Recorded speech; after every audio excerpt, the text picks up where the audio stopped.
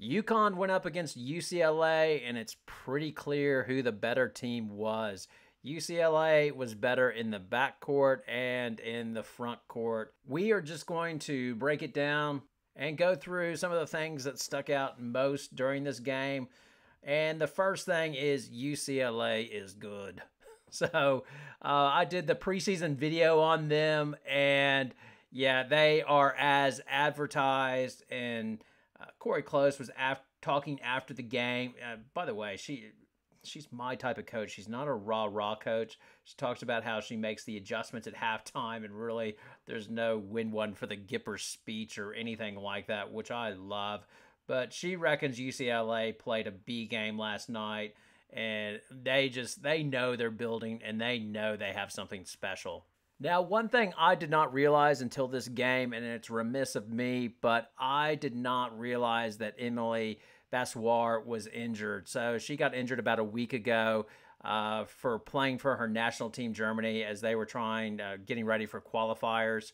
And it appears that she's uh, she's done an ACL as well, and UConn is damn lucky that she was not playing. Well, I'm sure they don't want her injured, but she is good as well. She's a stretch four, has size, six foot four, and I can only imagine how devastating she would have been comboed with Betts and what a problem that because they had UConn had all the problems they could handle with Betts and if you would have thrown the six four Bessoir in there, I reckon this game could have gotten pretty ugly.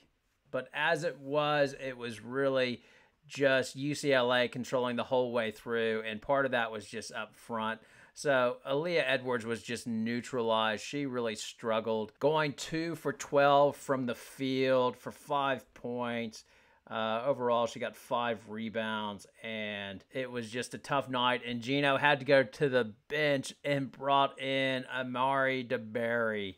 And to be honest, I thought that was a little bit unfair. I mean, that's sort of like when your, you know, your football team's getting their butt kicked and the coach decides to go back to the other quarterback, you know, when the offensive line's getting killed and they're, you know, the quarterback's like, hell, you haven't started me all season and we're getting our ass kicked and now it's emergency break glass. It's sort of like that to a certain extent because you knew you were going to be facing UCLA, who had a monster big. I mean, it's not it's not unknown news. You know, hell, I did a video on it. So if I knew this was coming and super bigs were going to be a problem, then why weren't you sort of giving DeBerry more minutes? Like Dayton, she played five minutes. NC State, no minutes. Maryland, when you were up, you only got her two minutes in the game, and then Minnesota, two minutes. And then you get UCLA, and you're like, okay, this is the t- chance. We're going to break her out now. You knew you're going to need her in those blowout games. Get her minutes. I know it's painful. I know she's not the player that Gino likes, but you're gonna have to eat it. It's it's just you can't just go, okay, we're getting crushed on the boards. Oh my God, we'll go to DeBerry. I mean, that's just setting her up for failure. I mean, it's a dance it's a dance mom's thing.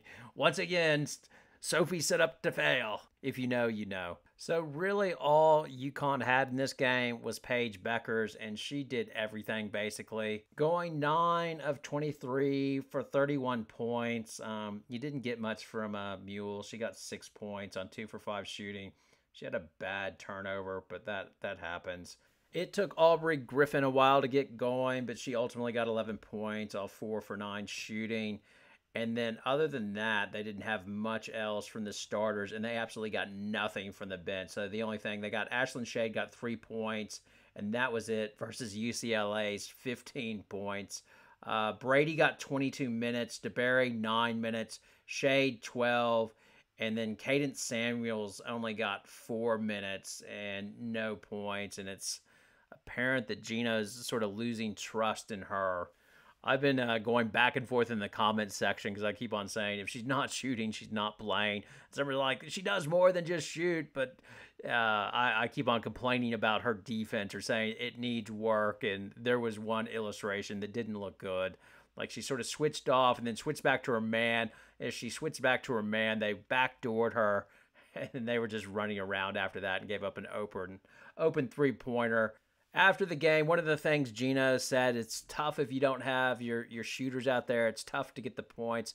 Sort of alluding that uh, you know Fudd's out and Ducharme's out, and um, they're saying Ducharme is day to day, which sort of worries me. Are they going to go down this Caroline Ducharme road again? Of will she or won't she play? You have to ask because of your past, but are you feeling okay coming out of the game?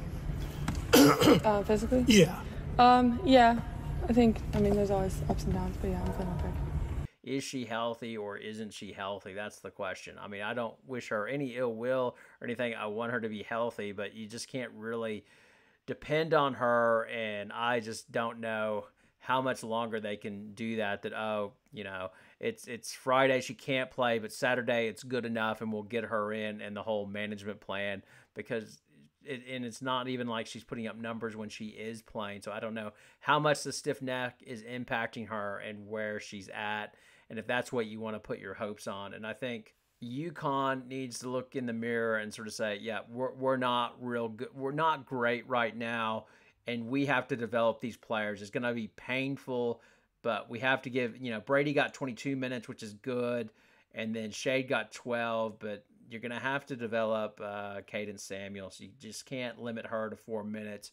If you don't know what you're going to get from Ducharme, then she needs to play and and learn and develop. And you're not going to do that from the bench. And he's going to have to eat it. And I know he doesn't like Gino doesn't like to eat it and play rookies and their mistakes, but ultimately that is what they're going to have to do. Um, because your best hope is to develop the young kids. I mean, they seem like they have talent and everything else, and that is just the new way of the world. UConn just doesn't get every single player they want and have a you know a three deep lineup right now. That that seems like South Carolina actually. And hence why they are so desperate to get Sarah Strong because if Edwards doesn't return next year, and I don't think she will, man, they are thin up front or they're depending on a lot of unproven players, which includes Patterson, Hopefully, ice develops, and then on top of that, El Alfy they need to develop, and if they don't have anybody else, oof, you know, unless they can score like a Dorka, any chance they can get Dorka back from Minnesota, that's truly what they need. They need Lou Lopez and Dorka to get like a sixth COVID year after playing in the WNBA. Unlikely, I don't think. Uh, but really, the mantra this year should be developing the kids, developing the kids, because all you have right now is one superstar in Paige Bueckers who uh, will get better and better, and you just need to build enough around her or hope that she comes back like hell for next year and you have sort of seasoned these young kids so they can make a strong run next year. As well, UConn needs to get a hell of an NIL committee together and make sure they get Edwards to come back somehow, some way, as well with Griffin as well. That would be a big help. Um, anyway, your comments. Oh, last thing.